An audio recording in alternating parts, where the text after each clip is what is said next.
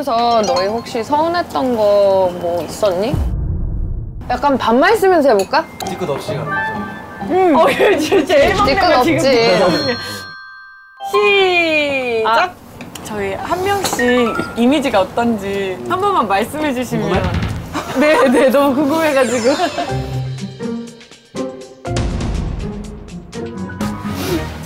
연가이부터 얘기해봐.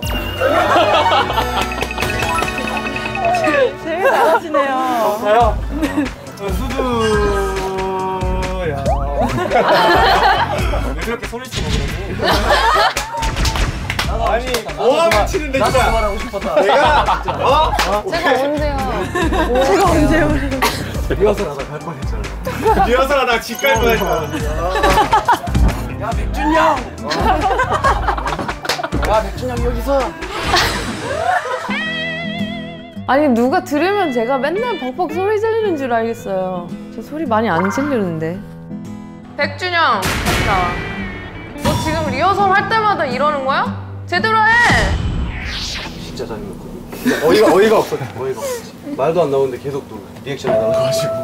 어? 오 맞아. 죄송합니다. 이렇게. 죄송합니다. 사람 있어. 저희, 저, 저 잠깐 전화 한 통만 받고 와도 될까요? 빠르게. 아, 네. 여태까지 약간 품고 있던 것들을 다 시원시원하게 얘기했어요.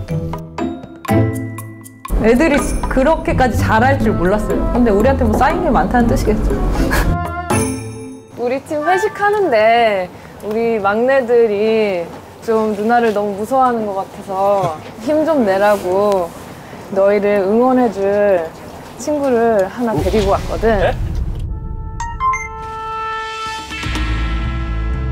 들어와 주세요.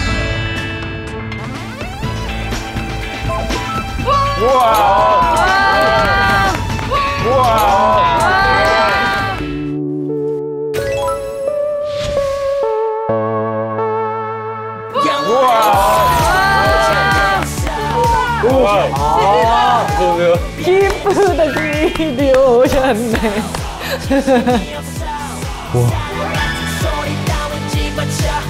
우리 팀 회식하는데 너가 와서 좀 좋은 얘기도 해주고 재밌게 놀다가 갈 수 있겠니? 근데 너무 흔쾌히 어? 나 그날 아무것도 안 할걸? 이러면서 와주겠다고 해서 아,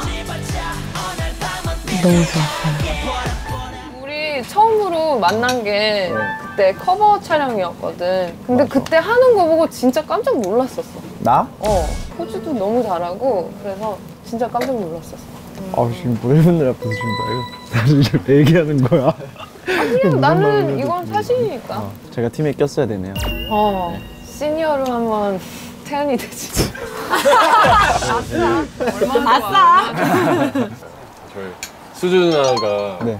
화가 나셨을 때는 저희가 어떻게 대처를 하면 좀 누가 화드네요? 화나게 했나 보죠. 죄송합니다. 웬만해서 안 내는 사람인데 화내면 어땠는데요? 다 들리게 친구가 뭐 잘못했어요? 잘못했거든요. 혼나야죠. 혼나면서 혼나면서 뭐 싸이야 무대에 서졌을 때 생방송으로 크게 되는 걸로 알고 있는데 어떤 그런 기분이셨는지.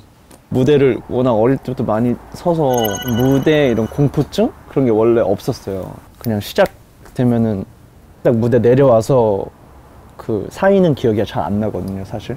그리고 이제 모니터 하면서 아 잘못했구나 이런 걸 느끼는데 그런 거 안 하려면 연습이 된 상태에서 얼마나 더 거기서 실전에서 잘하냐 마냐냐는 자기가 가진 그런 거에 따라 다를 것 같아요.